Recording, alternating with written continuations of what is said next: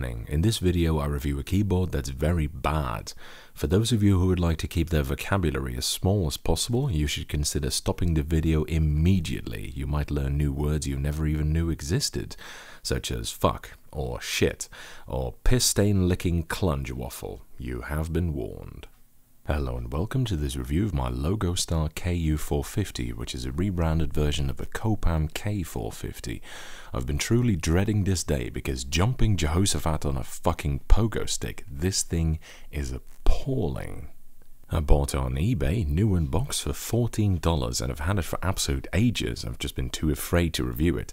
This is technically an excellent deal for reasons I'll get to in a bit, and I appreciate the keyboard as a collector, but as a human being, let alone a keyboard user, holy shit, I wish I'd never laid a finger on this gruesome horror.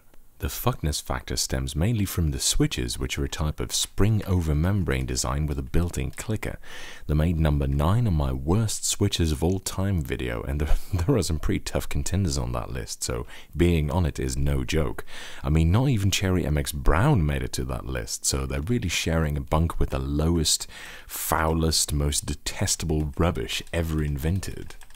The switches consist of a pusher clipped into a slider with a coil spring between them to extend the pusher outwards, and this arrangement presses down on a standard triple set of membranes. In order to make the slider come back up again, it's got an external coil spring and there's a small recess in the barrel plate for an Alps style click leaf, which provides the tactility and the clicky noise. It's probably what people would describe as a mecha membrane switch, similar to Razer's design, although unlike Razer mecha membrane, it doesn't use rubber domes, has a much thicker click noise,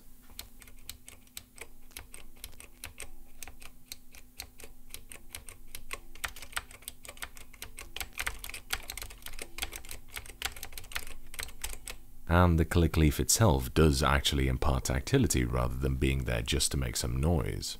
Now when I reviewed the Razer Ornata, which came with those switches, I basically tore out a battery of fresh anal orifices, and in theory its design should be much more loathsome than the Copam's.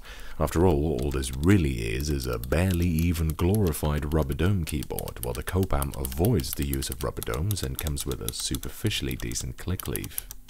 But lo and behold, it's actually even worse. The key feel is so bad that it's almost beyond description. Ah. And I genuinely mean that because it's really difficult to describe exactly what it is that makes this keyboard feel like such a nameless, unutterable rampart of perdition. Jesus, touch typing Christ on a KB101A, it's bleeding awful. Just get it away from me.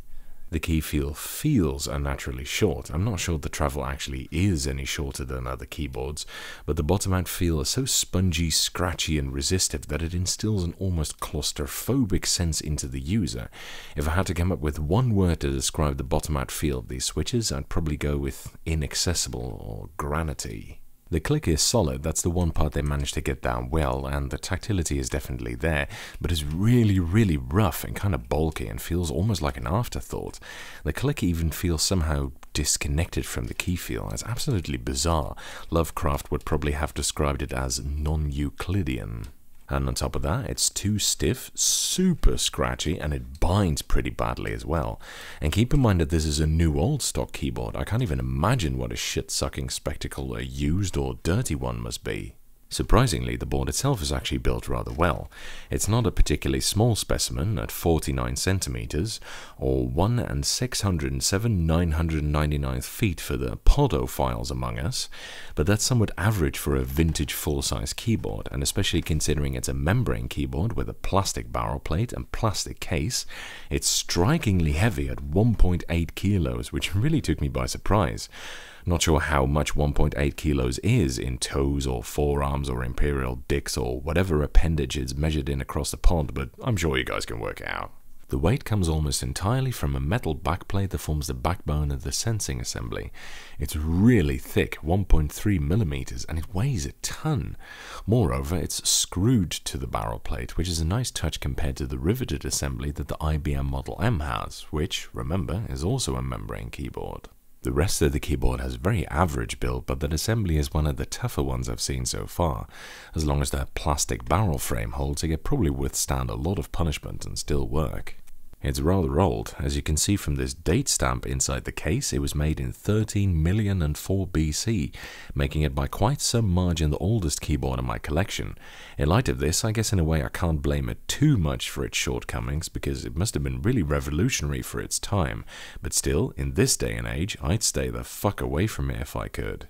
It also has really nice keycaps. They're thin ABS, but they are double shots, which is the best printing method, with Helvetica, which is the best looking keyboard font in my opinion, and it's got lovely red Cyrillic sublegends.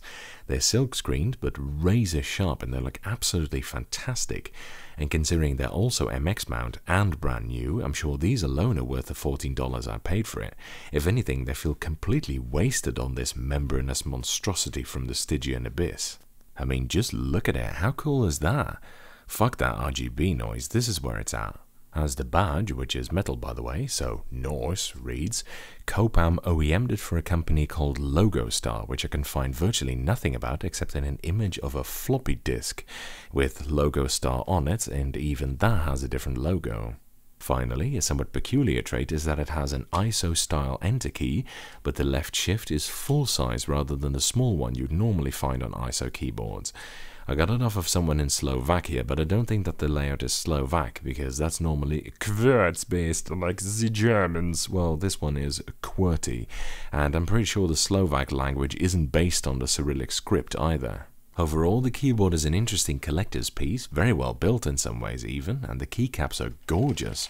But fuck me blind and gag me with a spoon, the typing feel is hideous! I mean, whatever guys, but it's all fun and games until someone touches a Copam. What a complete milk queefing fanny flap this thing is. That's it for this review, thank you for watching, I hope you enjoyed it, and following is a typing demonstration of me typing on this keyboard. Oh dear.